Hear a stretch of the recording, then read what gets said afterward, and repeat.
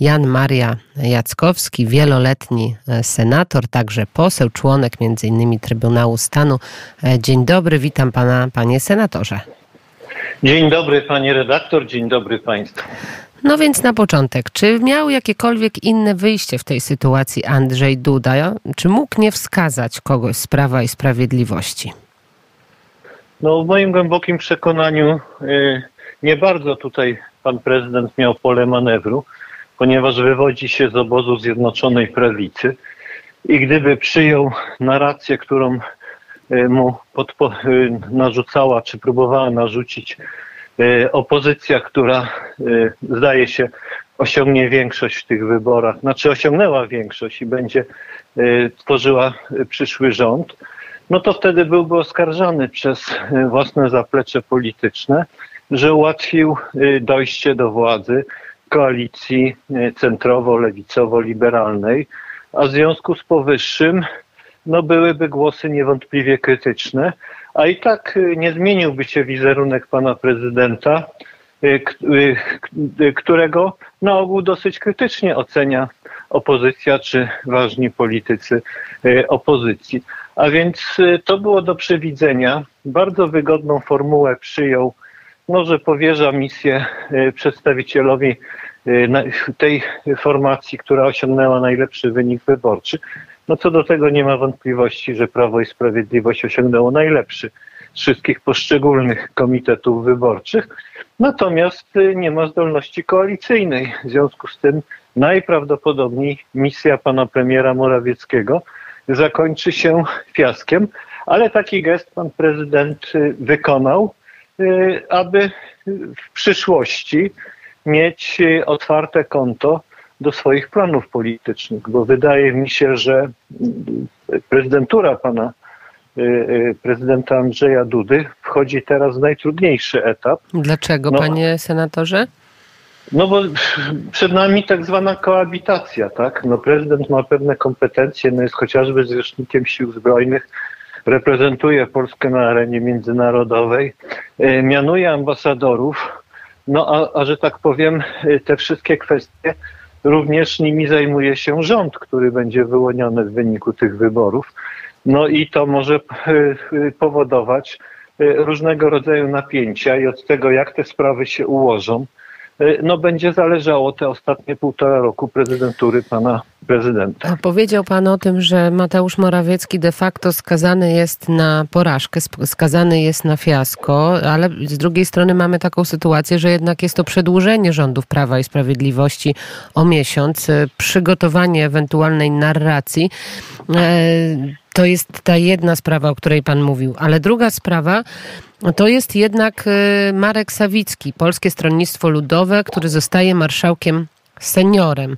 Możemy to czytać, panie senatorze, jednak jako czytelny sygnał, który jest wysłany ludowcom, prawda? Że prezydent liczy na współpracę z nimi po zmianie władzy. To jest ta pierwsza sprawa. A druga sprawa, czy rzeczywiście Mateusz Morawiecki, no. Yy, nie będzie y, starał się, czy y, będzie bardzo zabiegał o to, przepraszam, że żeby jednak PSL, y, trzecia droga, czy niektórzy politycy znaleźli się w jego rządzie, który ma szansę teraz stworzyć. No więc po kolei. Pan poseł Marek Sawicki no jest posłem, który ma zdaje się, najdłuższy staż nieprzerwany. Tak, chyba 30, 30 lat. 30 lat w ciągu jest y, posłem na Sejm Rzeczypospolitej Polski. Bo, że tak powiem, z metryki, no to bynajmniej nie jest. Y, y, zazwyczaj wybiera się posła, który kalendarzowo jest najstarszym posłem w Sejmie. No tak, tak jak czy, pan Kornel Morawiecki. Tak, Kornel Morawiecki, Antoni, Antoni Macierewicz. Mhm Y, i w Senacie też podobna zasada funkcjonowała. Oczywiście nie zawsze najstarszy osoba z automatu zostaje marszałkiem Senatu, także to też trzeba podkreślić.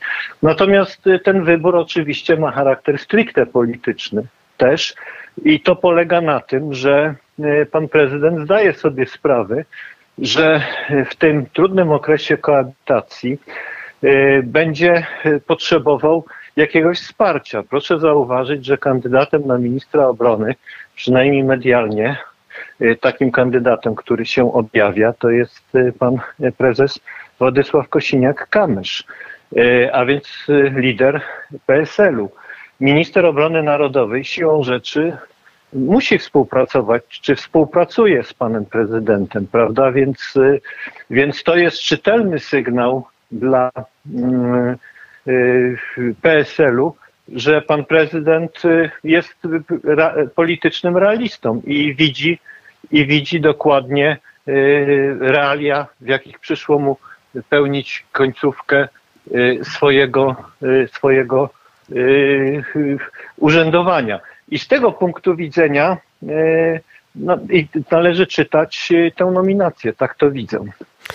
To jest e, jasny sygnał, jak sam mówi Marek Sawicki, który de facto już możemy mówić, że jest marszałkiem seniorem, to dla mnie zaszczyt. Gwarantuję, że jako marszałek Senior rozpocznie obrady Sejmu w nowej kadencji, a wszelkie procedury zostaną sprawnie przeprowadzone. Więc tutaj nie było mowy nawet o odmowie jakiejkolwiek. A teraz e, słowa samego e, przyszłego albo i nie premiera rządu, Mateusz Morawiecki. Jest to dla mnie wielki zaszczyt, ale i wyzwanie. Dziękuję prezydentowi za zaufanie i chyba to ostatnie zdanie jest najważniejsze, panie senatorze. Halo? Tak? Halo? Tak? Ja, Halo? Pan, ja pana słyszę. Halo? Y tak, tak. Tak? Y, jestem, jestem. Nie jest jakiś problem. Y, najważniejsze jest chyba to ostatnie zdanie, które powiedział, napisał, przepraszam, na portalu X Mateusz Morawiecki.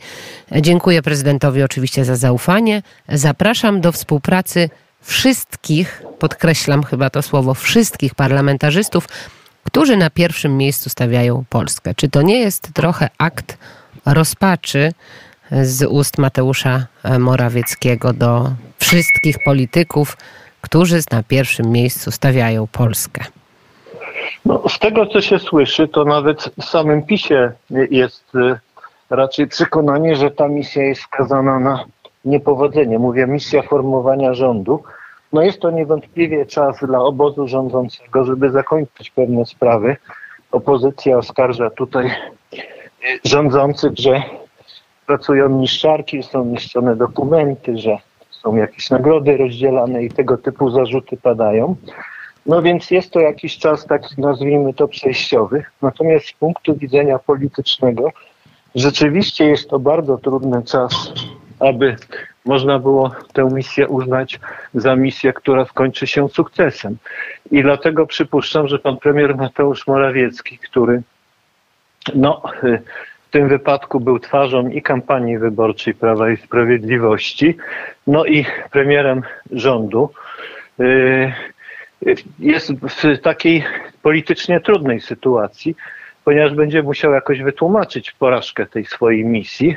No więc y, zapewne będzie używał argumentacji, że on się zwrócił do sił patriotycznych, y, tych, które mają zbliżony program. No one wolały inny wariant formowania rządu przyjąć.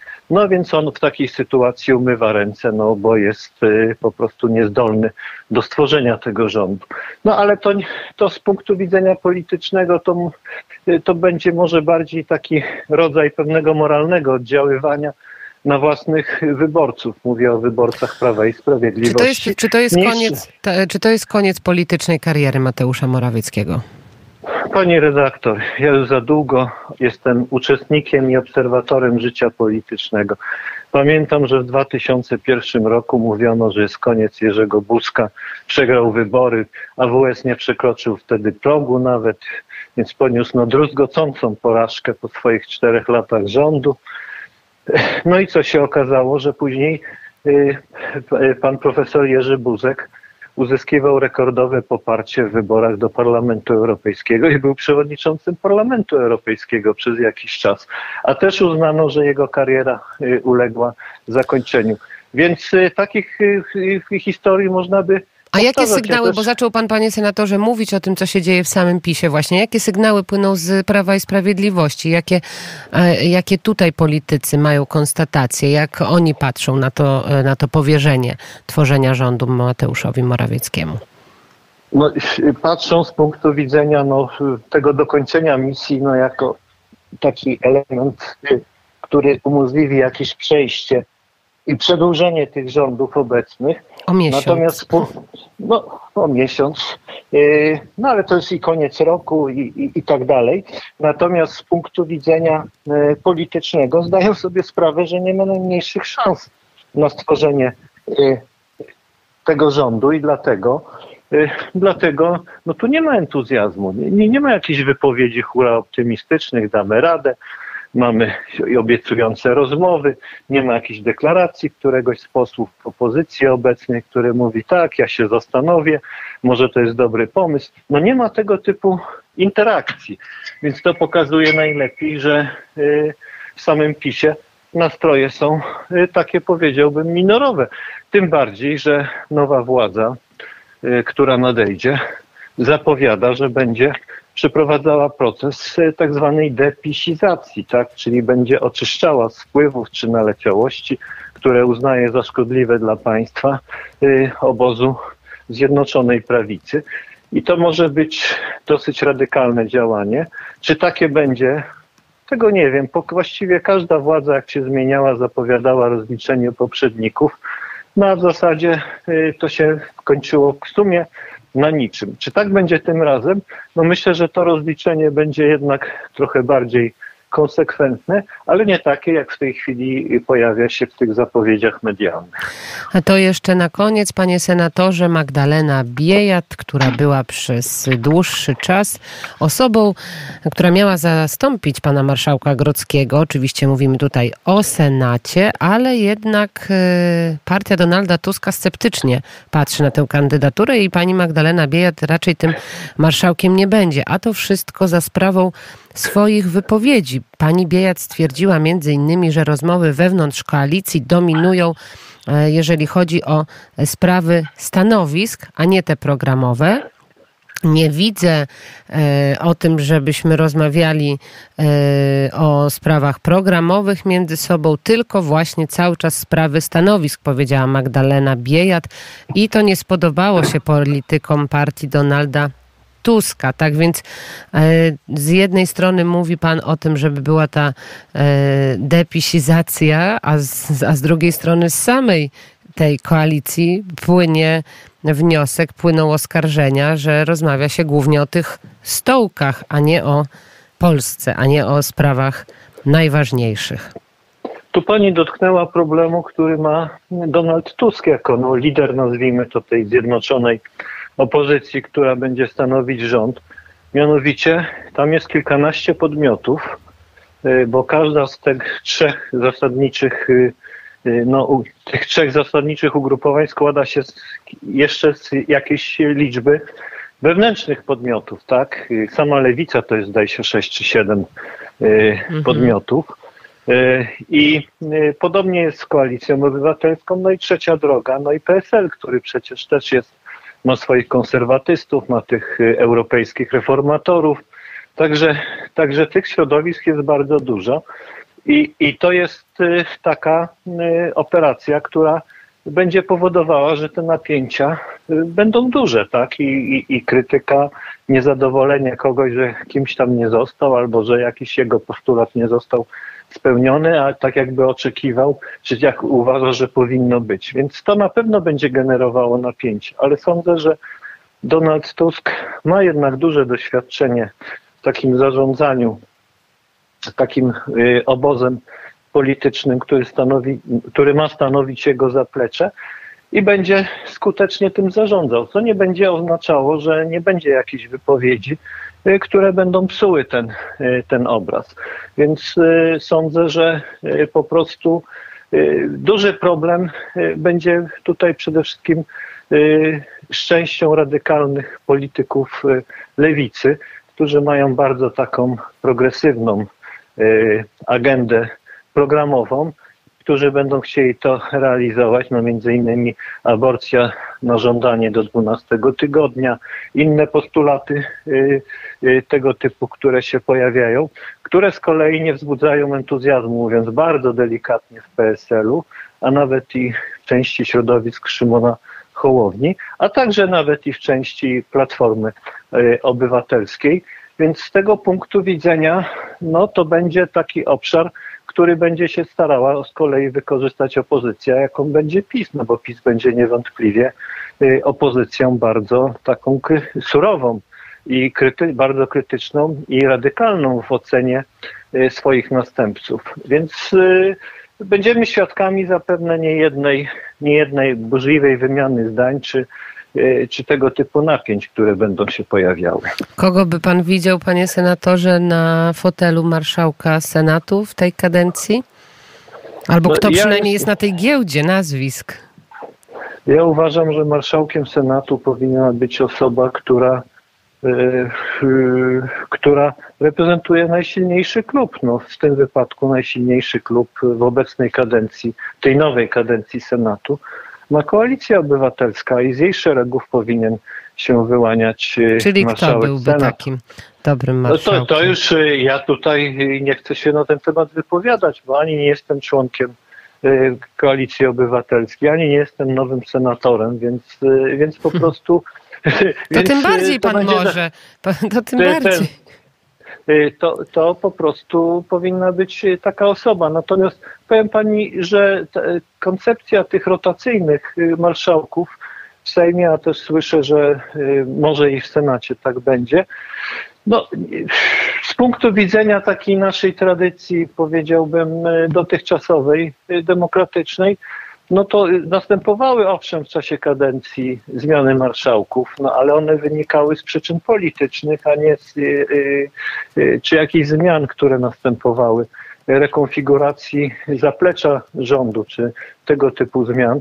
Natomiast nie wynikały one, że tak powiem, y, z jakichś umów koalicyjnych, które mają po prostu na celu zaspokojenie ambicji poszczególnych polityków czy środowisk. Czy to, czy ten eksperyment się uda? Nie mówię, że to jest skazane na porażkę, że czy to będzie nie wypał, no ale na pewno wszyscy będą się dokładnie przyglądać temu, ponieważ marszałek Sejmu czy marszałek Senatu poza procesem legislacyjnym i sądzę, że rotacyjność na proces legislacyjny raczej nie będzie wpływała y, negatywnie, ale jednak jest cały szereg różnych funkcji protokolarnych, y, y, no, takich nazwijmy to państwowych, o których nawet opinia publiczna nie wie, ile takich czynności marszałkowie Sejmu czy Senatu wykonują. I tutaj brak takiej kontynuacji stabilności, że to jest na całą kadencję, no na przykład, jeżeli chodzi o wymianę międzynarodową, przecież parlamenty mają, jest polityka